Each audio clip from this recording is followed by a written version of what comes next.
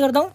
Reloading और ठीक है रीलोडिंग के बाद मेरा यहाँ पे रीलोडिंग कैंसिल हो चुका है मेरा वहीं से दोबारा फायर स्टार्ट हो चुका है। सो हेलो गाइस स्वागत है आप सभी के फिर से मेरे बीजीएमआई की एक और नई वीडियो में। एंड के सर इस वीडियो में बात करने वाले बीजीएमआई की एक मोस्ट इंपॉर्टेंट सेटिंग के बारे में, जो कि होने वाला है हमारा गन रीलोडिंग के ऊपर। तो जैसे कि तुम लोग को पता है, जब भी आप लोग गेम गन के, जब फाइट वगैरह लेते हो तो उस टाइम पर अगर आपका गेम जो है गन जो है रीलोडिंग पर आता है, यानी कि आप लोग की दस एम रहती है, आप लोग रीलोडिंग में डाल देते हो। एंड उतने में बंदा आप लोग ऊपर प्रेस कर देता हो तो आप लोग यहाँ पर रीलोडिंग करते रह जाते हो और बंदा आपको जो है, मार के चले जाता है, ठीक है?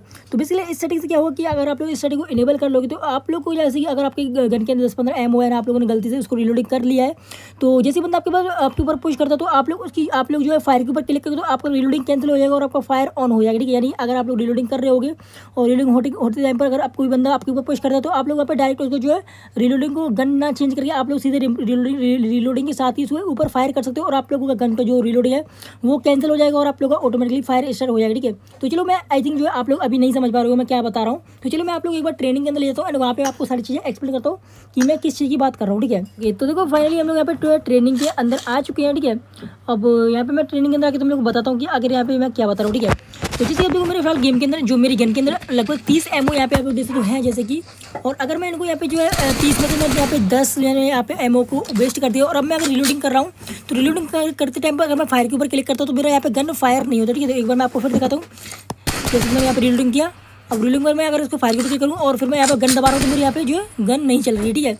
तो इस सेटिंग आपको इनेबल करके क्या क्या मिलेगा वो मैं आपको दिखाता हूँ। तो जैसे आप लोग यहाँ पे सेटिंग के अंदर जाओगे एंड यहाँ पे आपको यार एडवांस सेटिंग में, और एडवांस सेटिंग के अंदर आपको नीचे आने के बाद आप लोगों को मिलेगा reloading input inter up mother ठीक है? तो आप लोग यहाँ पे क्या करना है कि आपको यहाँ पे फायर इन फायर इंटरप्ट के ऊपर क्लिक कर देना है। एंड जैसे आप लोग इसके ऊपर क्लिक कर देते हो तो अब यहाँ पे क्या होगा, देखो, ठीक है? तो जैसे कि आप रिलोडिंग पर मैंने गन यहाँ पे पहले थोड़ी सी एमओ वेस्ट कर दिया तो खर्च कर देता हूँ। ठीक है मैंने यहाँ पे एमओ खर्च कर दिया और यहाँ पे लगभग मेरे को बारह एमओ रिलोड करनी है, ठीक है? अब जैसे यहाँ पे मैं रिलोडिंग के ऊपर क्लिक करता हूँ और मैं अचानक से अगर बीच में फायरिंग के ऊपर क्लिक करता हूँ तो मेरा यहाँ पे रिलोडिंग कैंसिल हो जाएगा और मेरा फायर जो है स्टार्ट हो जाएगा, ठीक है? तो एक बार फिर से करता हूँ रिलोडिंग और ठीक है रिलोडिंग के बाद मेरा यहाँ पर रिलोडिंग कैंसिल हो चुका है मेरा वहीं से दोबारा फायर स्टार्ट हो चुका है तो बेसिकली ये सेटिंग काफ़ी ज़्यादा इंपॉर्टेंट है, जो काफ़ी लोग के डिवाइस के अंदर जो इनेबल नहीं होगा एंड काफ़ी लोग को पता भी नहीं होगा इसके बारे में।